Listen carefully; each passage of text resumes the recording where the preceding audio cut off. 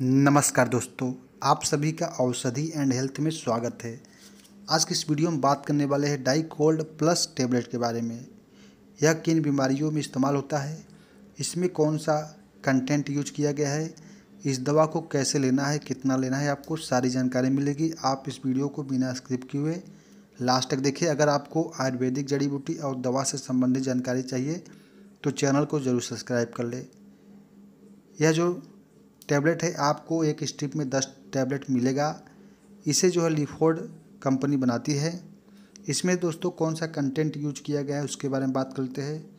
इसमें aceclofenac, paracetamol, cetirizine, hydrochloride, phenylephrine, caffeine, ये content इसमें इस्तेमाल किए गए हैं।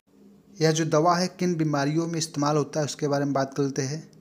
यह जो है दोस्तों, अगर आपका नाक बह रहा हो आँखों से पानी आने की समस्या हो, गले में खराश हो वायरल फीवर बुखार की समस्या हो, सिर दर्द हो, सर्दी जुकाम की समस्या हो, खांसी आ रही हो, इन सब बीमारियों में इसका इस्तेमाल किया जाता है।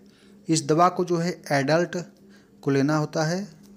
दिन में दो बार, सुबह शाम खाना खाने के बाद आप किसी अच्छे फिजिशियन डॉक्टर के सलाह लेने के बाद ही आप इस दवा का इस्तेमाल करें।